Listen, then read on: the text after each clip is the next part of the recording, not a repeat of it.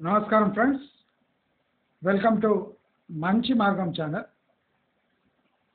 మన Hyderabad real estate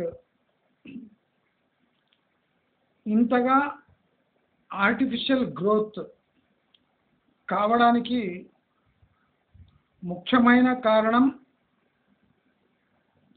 ఈ American Telugu ఎన్ఆర్ఐలు అంటే ఇతర దేశాల్లో భూభాగాల్లో కూడా మన ఎన్ఆర్ఐస్ ఉన్నారు. కానీ ఈ అమెరికన్ తెలుగు ఎన్ఆర్ఐలు ఈ ఆర్టిఫిషియల్ గ్రోత్కి ముఖ్య కారకులు. అయితే ఈ హైదరాబాద్లో మనము ఇప్పుడు ఇండ్లు కానీ ప్లాట్లు కానీ కొనుక్కోలేకపోతున్నాము అనే మాటకు బలపరిచేది అంటే ఆ సిచ్యువేషన్కి తెచ్చింది ఈ తెలుగు అమెరికన్ ఎన్ఆర్ఐ అయితే మనం అనొచ్చు ఎన్ఆర్ఐ వల్ల ఎన్ఆర్ఐల వల్ల మన హైదరాబాద్ భూమి రేట్స్ కానివ్వండి రియల్ ఎస్టేట్ సిచ్యువేషన్ కానివ్వండి చాలా ఇంప్రూవ్ అయింది అని మనము అనుకోవచ్చు.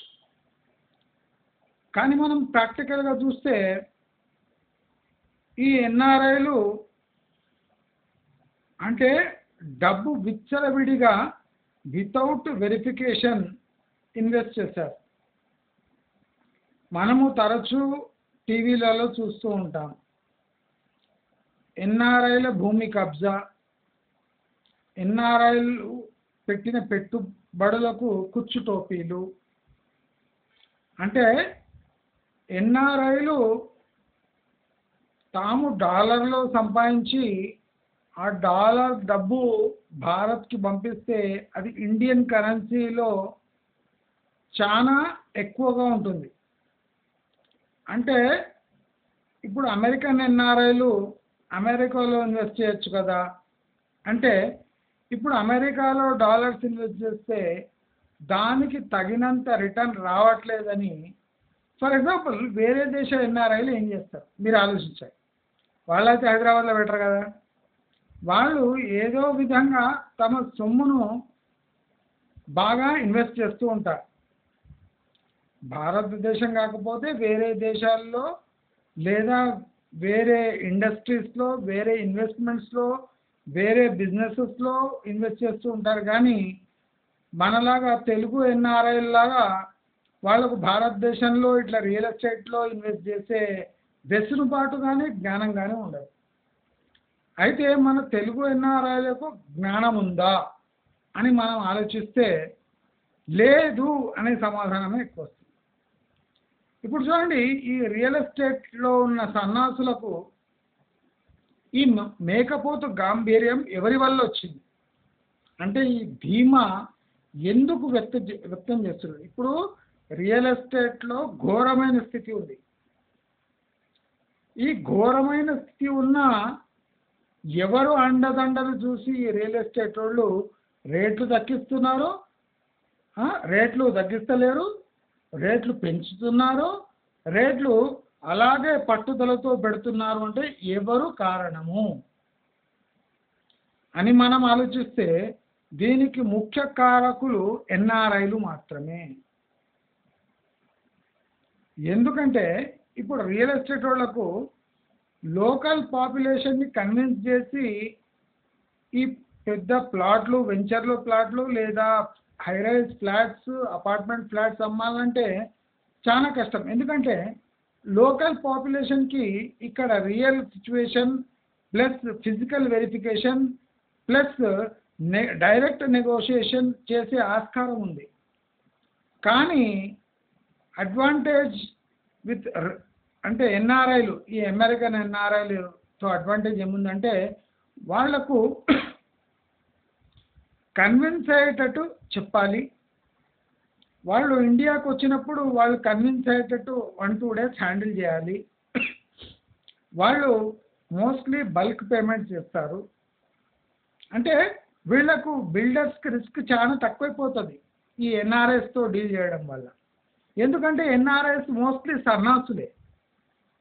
అంటే మనం ఎన్ఆర్ఎస్ బాగా తెలివి వాళ్ళు అమెరికా పోయిండ్రు కనుక బాగా తెలివి ఉన్నవాళ్ళు అనుకుంటారు. కాదండి ఇప్పుడు టోటల్ రియల్ ఎస్టేట్ డౌన్ఫాల్లో చూడండి మేజర్గా సఫర్ అయ్యేది ఈ ఎన్ఆర్ఐ ఎస్పెషల్లీ అమెరికన్ ఎన్ఆర్ఐస్ మీరు అబ్జర్వ్ చేయండి అమెరికన్ ఎన్ఆర్ఐస్కి పొగరు ఎక్కువ.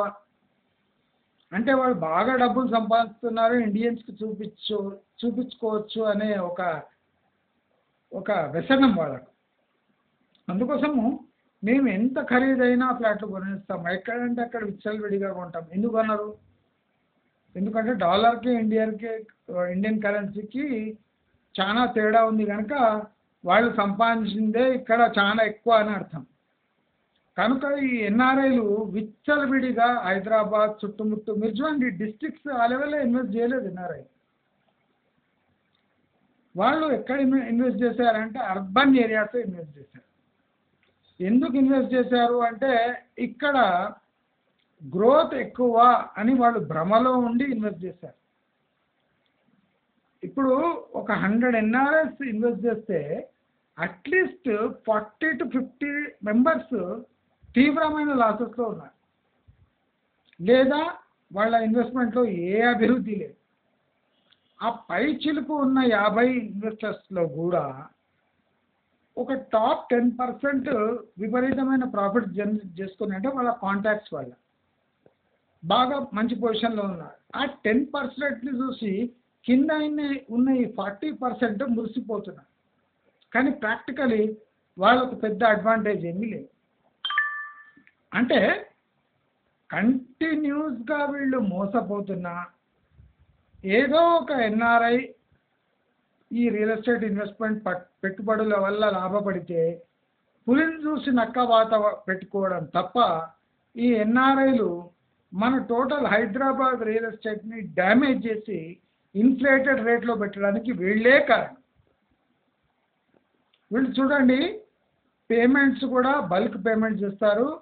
వెరిఫికేషన్ కూడా అట్లట్లా ఉంటుంది. ఫిజికల్ వెరిఫికేషన్ కొన్ని చోట్ల ఉండనే ఉండదు. ఆన్లైన్ చూపిస్తే ఆ ప్రాపర్టీస్ కొనేస్తారు. ఈ రెంట్స్ కూడా వాళ్ళకి తెలిసిన రిలేటివ్స్ ఎవరైనా ఉంటే వాళ్ళకి ఇస్తారు లేదా రెంటల్ ఏజెన్సీస్ ఉంటే వాళ్ళ మాటలు నమ్మి రెంట్స్కి ఇచ్చేస్తూ ఉంటారు తర్వాత ఇబ్బందులు పడుతూ ఉంటారు. అంటే ఈ ఎన్ఆర్ఐ ఎప్పుడు ఇన్వెస్ట్ చేస్తాడో ఇప్పుడు జరుగుతున్న పరిణామాలకు చాలా దూరంగా ఉంటాడు. అంటే వాళ్ళ టార్గెట్స్ మీట్ కాకపోయినా వాళ్ళ మనీ ఎంగేజ్ కావాలి. అంటే అమెరికన్ మార్కెట్స్ని కంపేర్ చేసి ఇండియన్ మార్కెట్స్ చాలా బాగున్నాయని మర్చిపోతున్నాను కానీ ఒకటి ఏం మర్చిపోతున్నా అంటే they are paying at least twenty to thirty percent more than the local population pays for that ప్రై for that land or apartment అంటే వీళ్ళ విచ్చలవిడితనం వల్ల ఈ అపార్ట్మెంట్ రేట్స్ కానివ్వండి హైరేజెస్ కానివ్వండి బిల్లా రేట్లు విపరీతంగా పెరిగిపోయింది no physical verification no negotiation no practical ఇది approach towards buying a property comparing real estate investments in India or Hyderabad with American American investments అంటే ఈ అమెరికాలో ఉన్న కాంప్లికేషన్స్ని అవాయిడ్ చేయడానికి వాళ్ళు ఇండియాలో ఇన్వెస్ట్ చేస్తున్నారు. కానీ ఇండియాలో ఎలా ఇన్వెస్ట్ చేస్తున్నారు? విచ్చలవిడిగా ఇన్వెస్ట్ చేస్తున్నారు.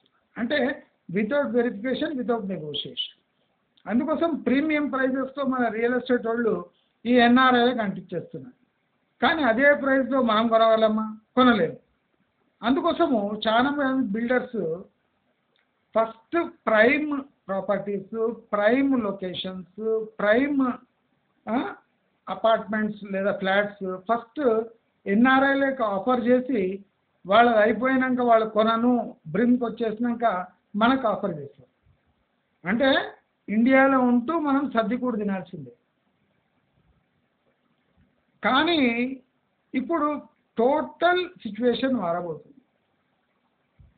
తెలుగు అమ్ అమెరికన్ ఎన్ఆర్ఎస్ అంత సఫర్ ఈ డౌన్ ట్రెండ్లో ఎవ్వరు కాదు మీరు చూడండి local population will relish this downfall అంటే బాగా ఎంజాయ్ చేస్తారు లోకల్ పాపులేషన్ ఈ డౌన్ఫాల్ ఎక్కువగా సఫర్ అవుతారు అంటే అమెరికన్ అంటే సన్నాసి ఎన్ఆర్ఐ. సన్నాసి అనేది నేను చాలా బాగా చూస్ తీసుకొని చెప్తున్నాను ఇప్పుడు రాబోయే డౌన్ టౌన్లో ఫస్ట్ సన్నాసులు ఎవరైతారంటే అమెరికన్ ఎన్ఆర్ఐ. వాళ్ళకు గ్రౌండ్ లెవెల్ సిచ్యువేషన్ అసలు తెలిసి ఉండదు. తెలిసి ఉన్నా మొత్తం రాంగ్ ఇన్ఫర్మేషన్ ఉంటుంది. వాళ్ళకు అమెరికాలో వచ్చే పెట్టుబడులకు వచ్చే డబ్బు ఇన్ని రోజులు హైదరాబాద్ పెట్టిన డబ్బు ఎక్కువ కనుక వాళ్ళకి ఇది అలవాటు అయిపోయింది కనుక వాళ్ళకి ఇప్పుడు వచ్చే సీ చేంజెస్ డ్రాస్టిక్ చేంజెస్ గురించి గురించి వాళ్ళకి అవగాహన లేదు. ఎవడొచ్చినా పెరుగుతుంది. ఇన్వెస్ట్ చేసి వెయిట్ చేయటం. అంటే ఇంకా తుప్పు పట్టిన ప్రిన్సిపల్స్ ఇంకా ఎన్ఆర్ఐస్ పెట్టుబడుల్లో యూజ్ చేసుకుంటున్నారు. కనుక మొదట బలయ్యేది ఈ ఎన్ఆర్ఐస్. అనేది స్పష్టంగా తెలుస్తుంది. కనుక మీకు తెలిసిన ఎన్ఆర్ఐలు కానీ తెలుగు ఎన్ఆర్ఐలు ప్లస్ యుఎస్ఏ నుంచి ఇన్వెస్టర్స్ కానీ ఎవరైనా ఇన్వెస్ట్ చేయదలుచుకుంటే వాళ్ళకు ఒక అలారం బెల్ లాగా మీరు మోగించండి ఇది చాలా దరిద్రపు టైము. ఎన్ఆర్ఐలకు క్యాష్ ఉన్నా వాళ్ళు ఈ ఇన్ఫ్లేటెడ్ వాల్యుయేషన్లో ఇన్వెస్ట్ చేస్తే వాళ్ళకి next six to seven years time పడుతుంది ఇన్వెస్ట్ చేయడానికి దానిపై రిటర్న్స్ పొందడానికి.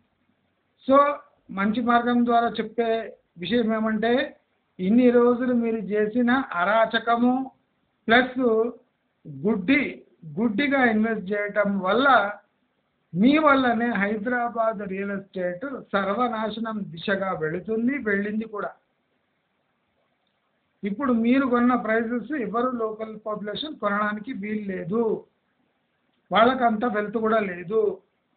ఈ వరల్డ్లో ఉన్న డౌన్ టర్న్ని కూడా ఈ లోకల్ పాపులేషన్ గుర్తించకపోవటం వల్ల వాళ్ళు కూడా ఇప్పుడు రన్నింగ్ ప్రైజెసే రియల్ ప్రైజెస్ అనుకుంటున్నారు.